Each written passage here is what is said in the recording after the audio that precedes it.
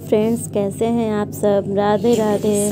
तो मैं आज आपके लिए लेकर आई हूँ आप कंटेनर में भरकर पापड़ी की एक महीने तक स्टोर कर सकते हो पापड़ी चाट में कैसे यूज़ करते हैं और पापड़ी चाट बना भल्ला पापड़ी बना लो, बनाते बहुत सारे बनाते हैं भल्ला पापड़ी।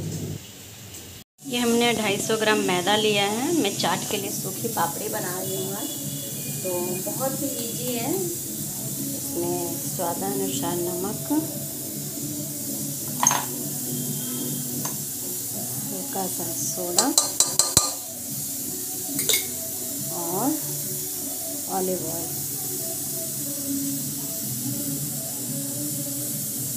ढाई सौ ग्राम है तो सौ ग्राम मैंने ऑयल लिया है। अब इसे मिक्स कर कर और गूँथ लेना। आटे की तरह नहीं गूँथना है। ना ज़्यादा सॉफ्ट लगाना है डो ना ज़्यादा हार्ड लगाना है मीडियम और सिर्फ़ मिक्स करना है। मैं आपको दिखाती हूँ। इसे मैंने अच्छी तरह से मिक्स कर लिया है। और फिर मैंने एक गिलास पानी लिया है। तो इसे मैं थोड़ा थोड़ा करके मिक्स करूँगी। और सिर्फ़ इसे मिलाना है। इसे आटा की तरह नहीं गूँथना है। सिर्फ़ मिक्स करना है और छोटी छोटी लोइयाँ बनाकर उसे बेल बेल कर दस दस पीस करके ऐसे रख लेना है।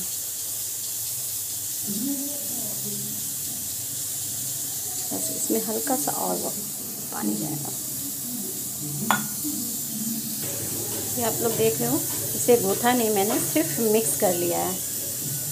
बस, और इसी में मुझे छोटी छोटी लोइयाँ बनाकर जैसा आपको चाहिए, और इसे बेल कर मैं आपको दिखाती हूँ, और फिर पापड़ी इसे फ्राई कर लेना है।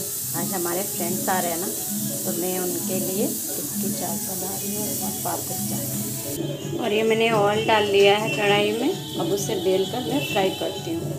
आज बच्चे पार्टी लोग ये मैंने आठ से दस पूरी बेल ली है। पतली पतली। ये छिपकेगा नहीं ऑयल में जाकर वो अलग अलग हो जाएँगे। अब ये फूले ना इसलिए, इसके ऊपर से ही ये सारे में हॉल हो जाएगा। मुझे एक एक करके करना नहीं पड़ेगा। एक ही बार में काम इजी हो जाएगा। और बस इसे ऑयल में डालना है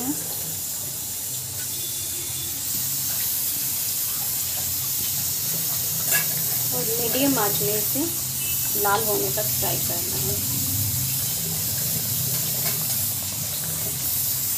तो ये मैंने सारी पापड़ी डाल दी है जिसे लो फ्लेम में मैं इसे फ्राई करूँ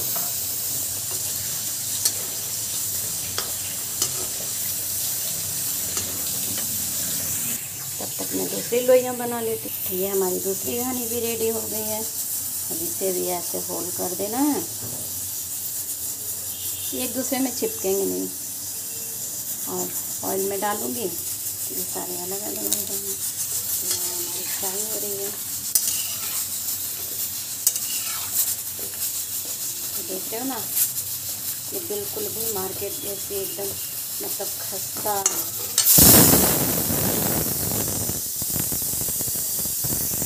और इधर मैं दही बल्ला बना रही हूँ। तो मेरा बल्ला रेडी हो गया है। अब दही रेडी करने जा रही हूँ। आज का दही पापड़ी चाट। और ये मैंने दूसरी बार डाल दिया है। और ये हमारी खस्ता पापड़ी रेडी हो गई। अभी बहुत गर्म है। दिख रहे हैं? बहुत ही खास्ता है। बहुत ज़्यादा गर्म है। ठंडा होने पे मैं आपको दिखाऊँगी ये कितना ज़्यादा सस्ता है। ये हमारा बड़ा भी रेडी हो गया। तो ये देखिए, हमारा दही भल्ला रेडी हो गया। और ये हमारी दही चाट के लिए छोला अभी कुकर में, ये प्रेशर कुकर में।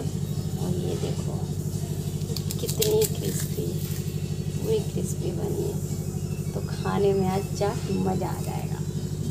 और ये हमारी सारी पापड़ी रेडी हो गई। तो आप घर पे आराम से इसे बना सकते हैं। और अगर हमारी पापड़ी की वीडियो पसंद आए तो इसे लाइक करें सब्सक्राइब करें एंड फॉलो आइकन को क्लिक करें।